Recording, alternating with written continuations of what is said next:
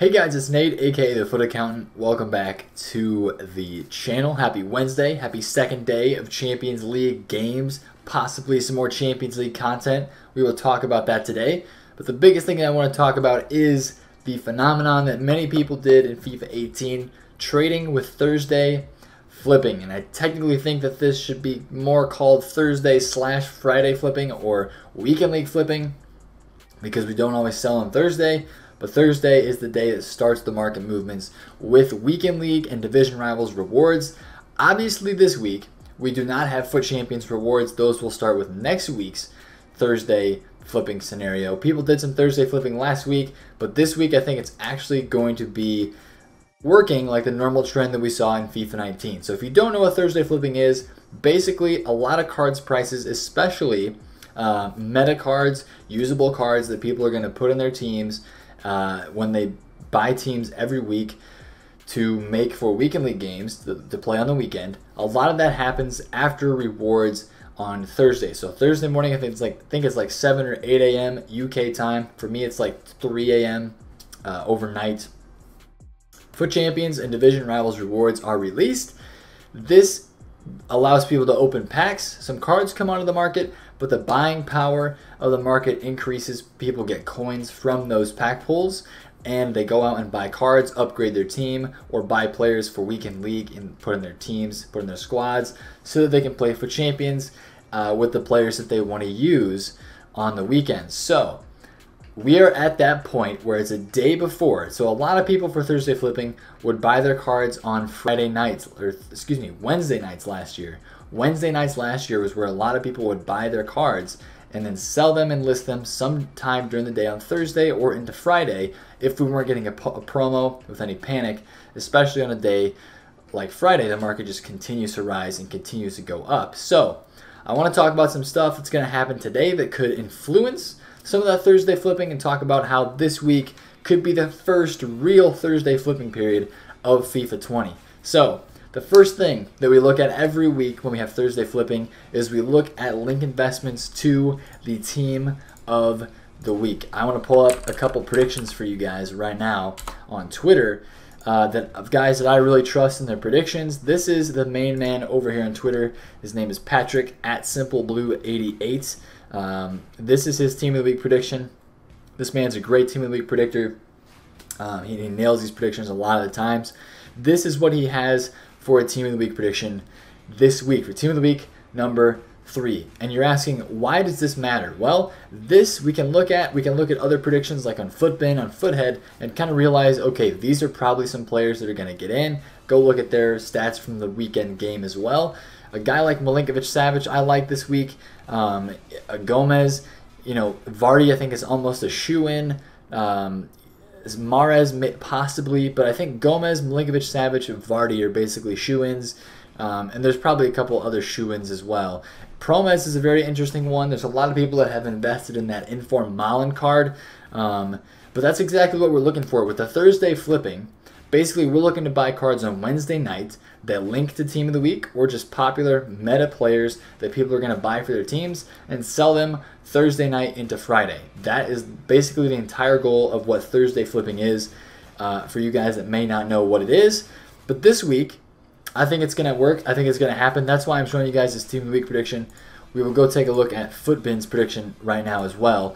Um, and this is something that we look at these Team of the Week predictions because link investments to these definitely rise up a lot because people get these informs.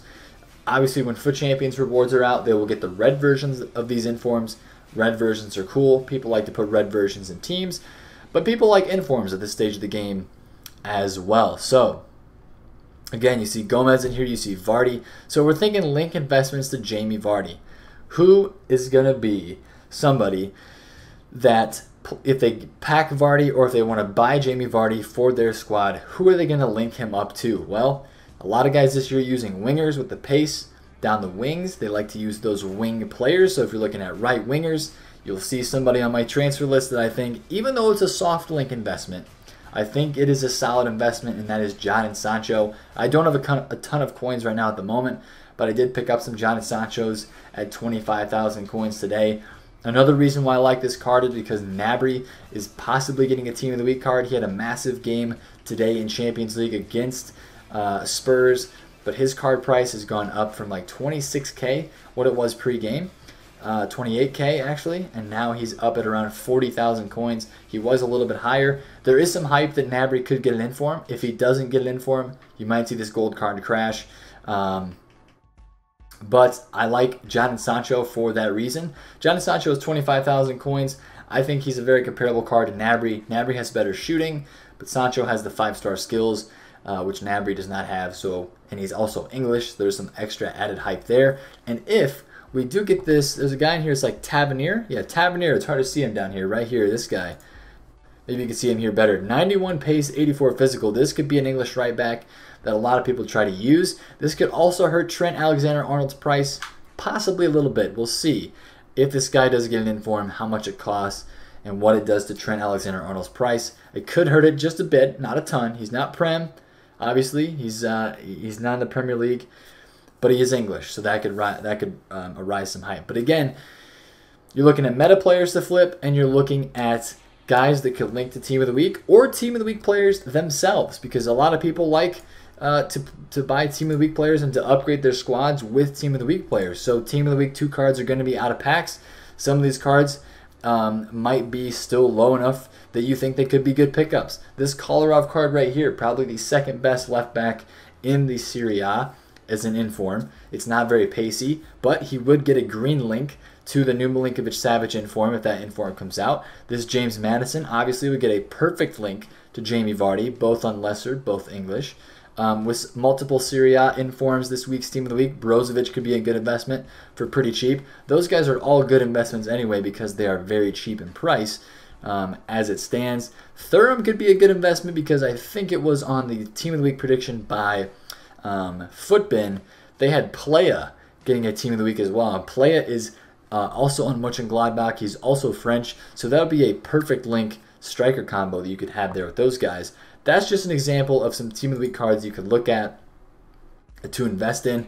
To be honest, ones to watch cards might not be a bad shout to look at either. I mean, some of the some people are going to buy them for their teams. Some of these prices are looking a little bit low, um, and this is probably going to be another chance where they get packed on Thursday with rewards with some supply, where before you will see them rise up into the weekend league. So Lozano is probably somebody I like for that range. Ben Yedder would probably be somebody. Pepe, João Felix. A lot of those guys that are hyped, that are playing well, could get some rise into this weekend. But that is the main thing I wanted to talk about today. I want to talk about the buy time for a lot of this stuff.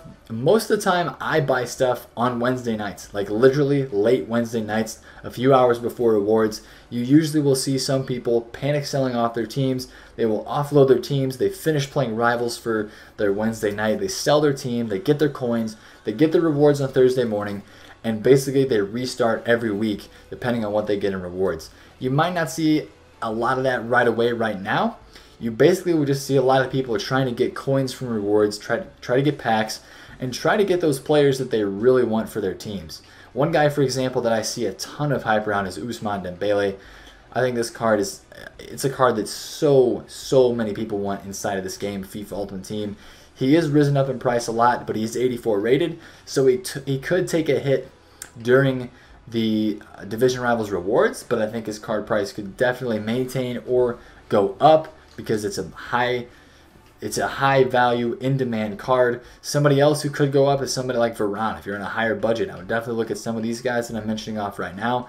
Varane is already very, very expensive, but watch his price as we head into uh, Wednesday night to Thursday. Wow, the man is 250, 239 right there. Is that going to get Instabot?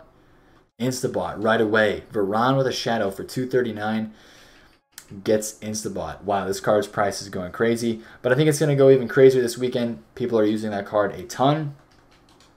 Um, so yeah, that's the only thing that I want to talk about with a little bit of supply. You know, maybe a guy like Ferland Mendy. Uh, a lot of people think that rewards are going to come on the market, and a lot of these cards are going to dip in price because they are getting packed. Which, yes, to an extent, they will go down a small bit. I think Mendy's extinct at 40k, right? Yeah, he, he definitely is. These card prices could take a hit in the first hour or two, just a bit. That could be an opportunity to buy, but you don't want to always take the chance. You usually want to buy before, especially if it's a meta player that's not super low rated, just a guy that a lot of people are going to want in their teams. Um, and for me, a guy that fits that value, fits that um, idea of what I'm speaking of, would be Firmino. Right around 100,000 coins. He's a guy that you would probably maybe upgrade your Lucas to. Uh, you would upgrade from Lucas to Firmino. Maybe, possibly, if you wanted a more center attacking mid player. Lucas has got the pace. Firmino doesn't have the pace, but he's got better all around stats in some areas.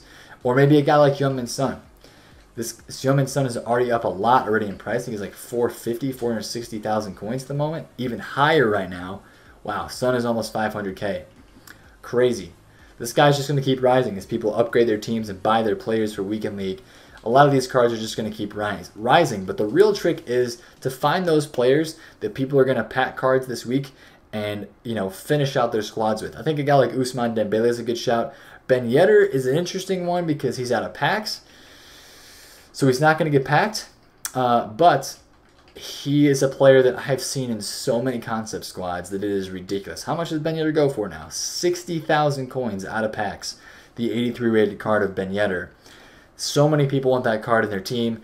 That's getting to a point where it's getting kind of close. It's it's over halfway to the ones to watch card. I think it's Ben Ben Yedder OTW is around 110,000 coins. So if you see this Ben Yedder OTW card Thursday getting packed with rewards, that might be a little bit of an investment opportunity right there as well.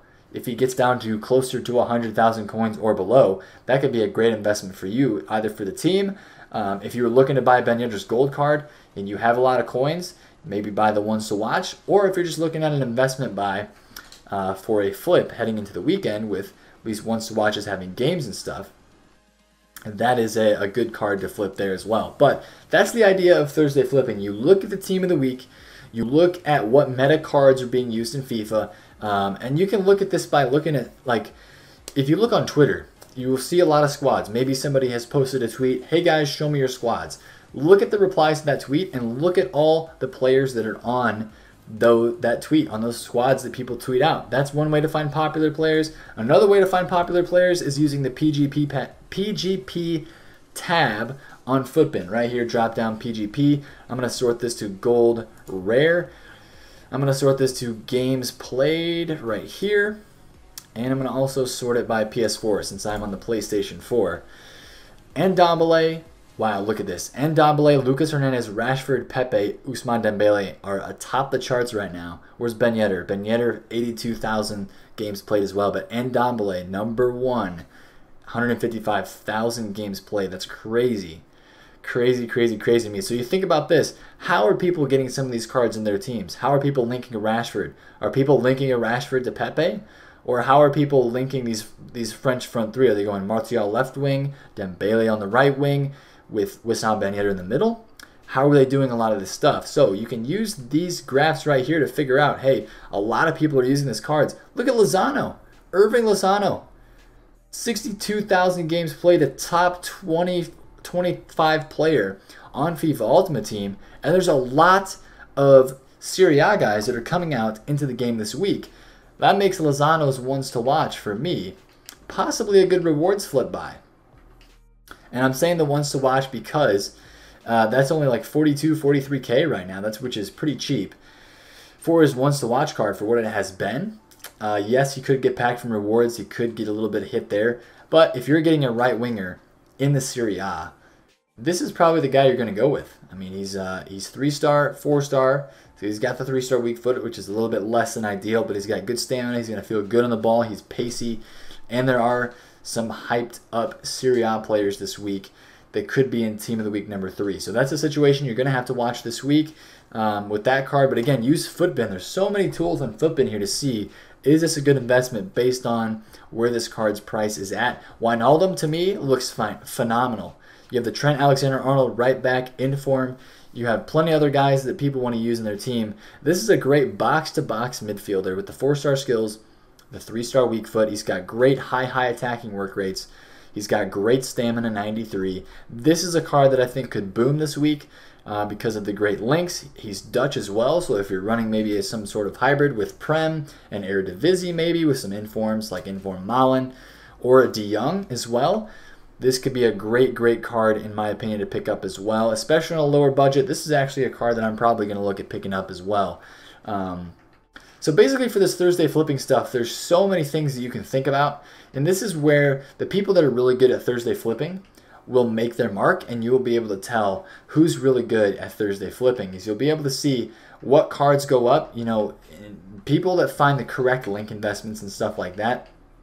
You'll really be able to tell how skilled they are at Thursday flipping based on how much they make each week and what cards they choose to pick. Link investments to the team of the week, meta popular players that will go up, stuff like that. So I had a lot of success doing it last year, um, and it's just basically based around people building teams. Now, again, I want to make a one little mention about the buy time. If you've made it to this point in the video, I greatly appreciate it. Thank you guys for watching these videos. I freaking love you dudes, to be honest. Um, so many, so much support on these videos. All the comments, the likes, just you guys subscribing to the channel. I I gotta take a second, just thank you and say I love you guys for that. Freaking phenomenal. You guys are the best. Um, but this day on Wednesday as well, we could see some possible market movements with the Champions League content that could be coming out today. We we got an SBC today. EA has told us that there is more news about the um, there's more news about these rare the, the UCL rare cards that is coming soon. So there's some people that are thinking we might see some stuff today. If we do see the UCL rare supply today on Wednesday, I told a few of you guys in the stream later uh, earlier today. That link's in the live stream if you want to check, check me out on Twitch. I stream there multiple times weekly. Um, I told a lot of people to say to you know to say like I said you know maybe wait a little bit wait until what we see for content wise on Wednesday in terms of Champions League games, in terms of what we could see released on the market before we go out and make moves earlier in the day. Wait and see what happens with that, and then look to make your moves because if nothing happens, then we can carry on as always. But you don't want to buy too early, have some content released, and then we have a bunch of panic on the market and you bought before the panic and then stuff's going lower. So just wait and see what happens tomorrow with the Champions League content and the Champions League stuff. But other than that, start to make yourself a little bit of a list. Look at your coin balance. I have 52,000 coins right now. I would probably like to sell a few of these guys and maybe get a few more coins. Probably sell my Papu Gomez tomorrow morning just in case he doesn't get in team of the week. We'll see. I have a Timo Werner that I have basically bought for a weekend league flip at 45k. I think that card, if Gnabry gets an inform, could go up a lot, and I think it should rise regardless. So I have that card as an investment as well. But I'm probably going to sell a few cards to maybe get back up to 100, 150k range so that I can make some investments. So maybe I'm looking, if you're a guy that's like 100,000 coins to 500k, probably look in the card range of somewhere around 20 to 50k because that way you can get a couple cards, you can stack them up like that Wijnaldum, like Lozano, maybe a guy uh, like a cheaper option, like a secondary option for a starter team, Willian. I think he's like what 15k right now. Okay, he's a little bit less than that. 13,000 coins for Willian. Watch a card like this tomorrow. He's going to get packed a bit, but he's still very usable. Still a very popular card in this game. That could be a good card to flip Thursday night into Friday.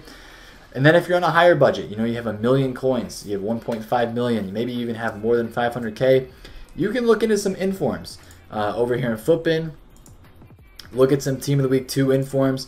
If you're somebody who's got a lot of coins, maybe look at somebody like this KDB. I think Thiago Silva is still pretty cheap as a, I mean, 89 defense. His card stats don't look amazing, but for this game, he's got incredible stats. The man's got what 90 standing tackle. That's going to be an insane stat for his card in game. He's probably going to play pretty well, I would imagine. 89 defense is the big stat on his card, and he's got good work rates as well. I think that card's still pretty cheap. Maybe Alexander Arnold 100k, and you know maybe some of those more meta popular golds. A guy like Fabinho, a guy like um, maybe a Kanté if you have a lot of coins. So this is the kind of guy you might find to be a better investment if you're on that higher budget. Um, because you can make use of more of your coins. A lot of people are going to want this Fabinho card, that's for sure. He's probably a top three, top two or three CDM in the Prem, if not more a top two card. Especially with the hype last year, Liverpool hype, they're playing very well. Very well. He's Brazilian, so that's a good card if you're on a higher budget. Look for somebody like that. That's a card that a lot of people are going to be upgrading to as well. Somebody might not have Fabinho on their team just yet, but they're going to be upgrading from maybe somebody like um, that Gbamin card or maybe like a 20,000 coin range CDM and upgrading to this Fabinho card. That's what you're going to see a lot of in this time period of FIFA. People upgrading from like the starter squads into the more advanced squads as they play the game, open packs, get rewards, and everything like that. So that's what I would say for this week. Look at the metas, look at links to Team of the Week, maybe look at some ones to watch cards heading into the weekend. And of course, use your tools on Futbin, use your knowledge on the market, and even use Twitter posts, like I mentioned.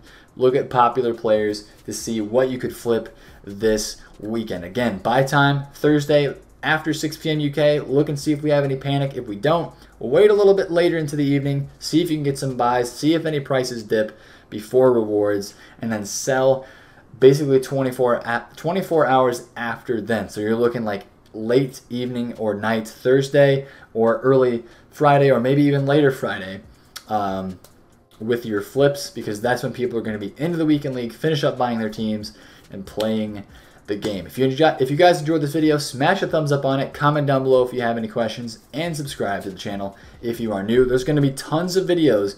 Basically every Wednesday you're going to see a video like this looking at the Thursday flips for the week, looking at the team of the week predictions, looking at different market movements we could have in the game, looking at all kinds of stuff for uh, Thursday flipping because it is a massive phenomenon in FIFA 19. It's going to be a massive phenomenon in FIFA 20 because Weekend League is here. People need the rewards. People want the rewards, and especially early in the game when you're trying to, uh, you know, increase your FIFA wealth and make coins.